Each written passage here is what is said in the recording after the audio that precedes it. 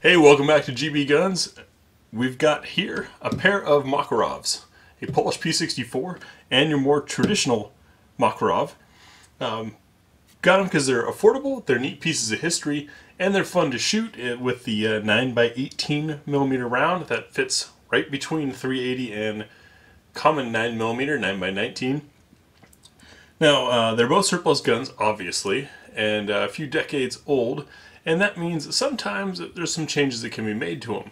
On our P64, which you can see is clear, the recoil spring seemed like it might be a bit worn out, and our big indicator on that was that it was uh, kind of a bear to shoot, and 9x18 is not a powerful round. So we got a spring from Wolff Springs and swapped out that spring and want to see how it shoots now on our classic conventional Makarov here, uh, we have this grip from Fab Defense, which extends the beaver tail, protects you from the hammer and the slide, and, check this out, gives you a more modern magazine release up here versus having to do the heel grip. So, did these both of these upgrades quite some time ago, but haven't been to the range yet to try it out. So let's get out there and see how these do.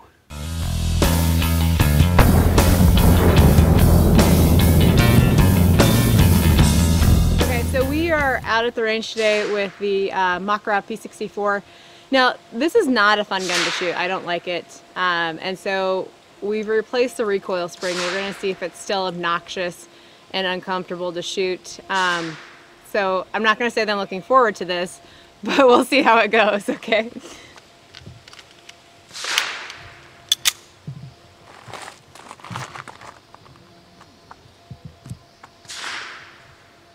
Good.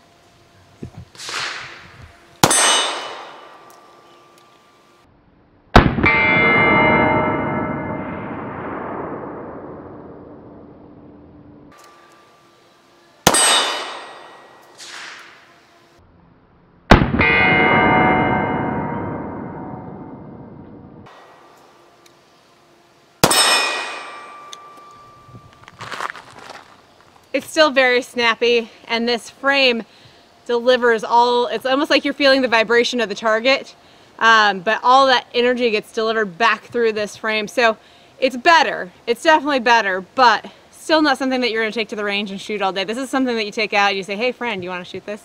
Um, and it's an experience, but um, this ring right, So when I first got this guy, I was of course attracted to the styling it's very Walther PPK-esque and the fixed barrel and everything. Quickly came to loathe shooting it uh, because quite frankly it hurt. Even though it's just 9 by 18 um, the web of my hand would get up in there and I'd end up with racing stripes. I'm going to consciously try to keep my hand lower and see if this fresh spring in here has make it any more pleasant for my hands to shoot.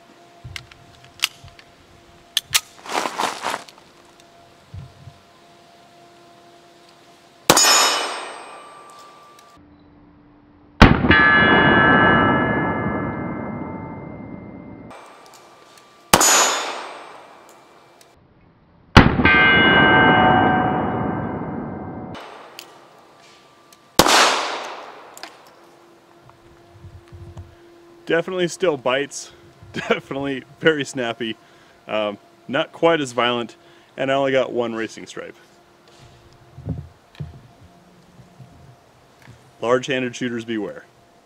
Okay, so in uh, keeping with seeing what we can do to change the Makarov and uh, make it easier to use, we've got this grip here by Fab Defense that adds a traditional mag release here. So we're going to see A, if the grip helps us holding the gun and is more comfortable, B, how does that uh, traditional mag release work so that we're not having to dig down here when we need to get that mag out and reload.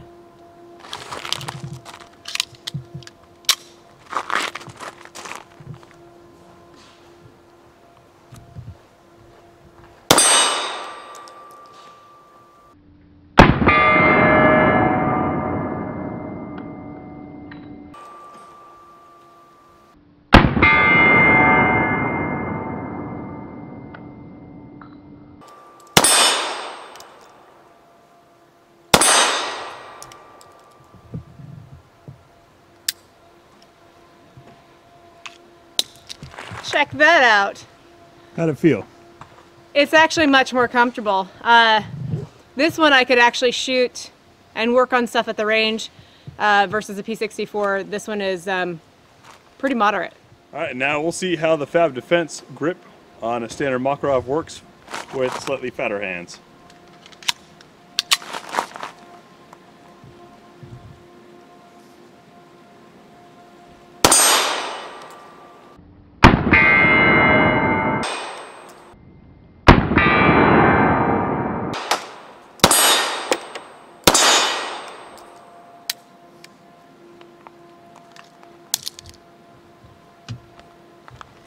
So as we saw there, the mag release does indeed function.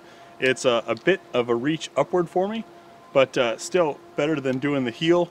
The heel is a bit stiff on this particular gun. It may not be on all of them, uh, but certainly a worthy upgrade. All right, so back from the range, and what are the thoughts?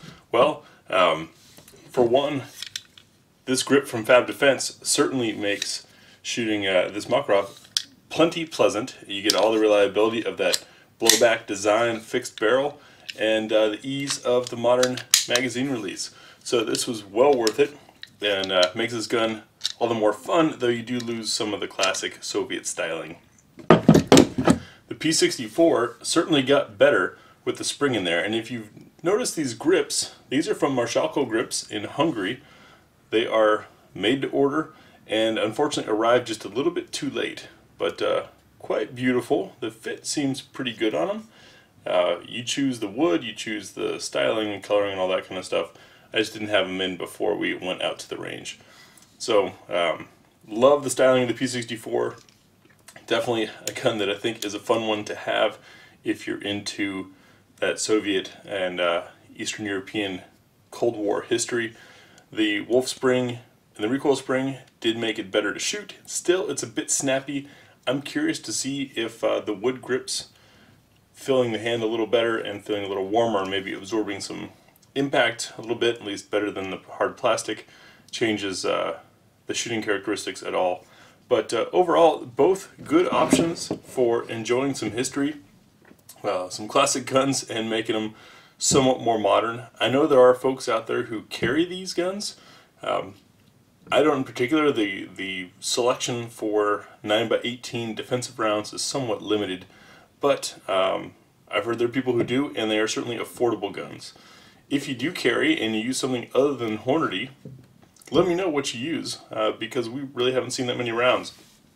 I admit to not having looked super deep, but uh, when I did, I was kind of well disappointed in the limited selection. 9x18 Makarov is right between 380, which is 9 by 17, and 9mm Luger, which is 9 by 19. So, uh, and in our test, 9 by 18, just about as effective as 9mm, not necessarily uh, around to shy away from. Hope this helps, and thanks for watching.